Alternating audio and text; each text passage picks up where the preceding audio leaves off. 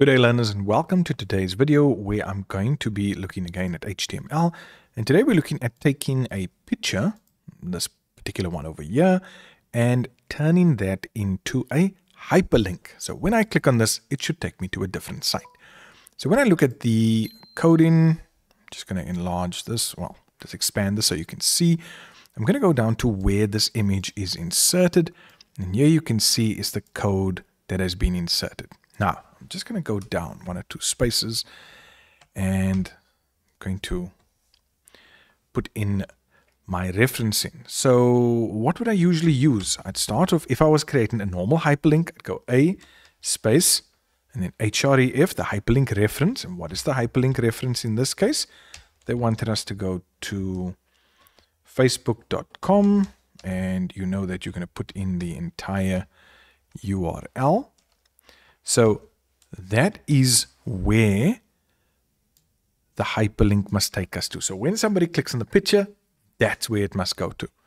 Now, how did I usually end that? A particular tag, I would close that A tag because remember, I opened the A tag. But something needs to be here in the middle. And this is usually where we'll put in a word, a phrase, whatever the case is. So when people see that, they click on it and it's a hyperlink, right? Um, in this case, they want us to use the picture. So what am I going to do? I'm going to take this entire code and I'm just going to cut and I'm going to paste it into the middle. So I hope you can see that. I'm going to try and zoom in.